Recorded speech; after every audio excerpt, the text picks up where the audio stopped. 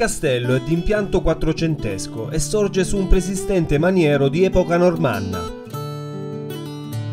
Originariamente era di forma quadrilatera e contava ben quattro torri poste ai quattro angoli. Nella prima metà del Cinquecento la famiglia feudataria dei Tolomei si occupò di ristrutturare il castello, ingentilendolo con un'opera di restyling considerevole, che eliminò gli elementi architettonici strettamente legati alle funzioni difensive.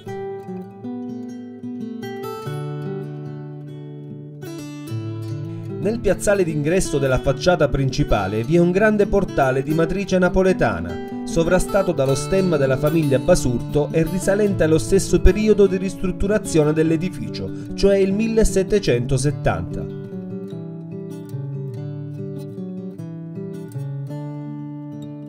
Inizialmente l'atrio del castello era molto più grande ed era in parte interessato dalla presenza della chiesa matrice del paese dedicata a San Giorgio.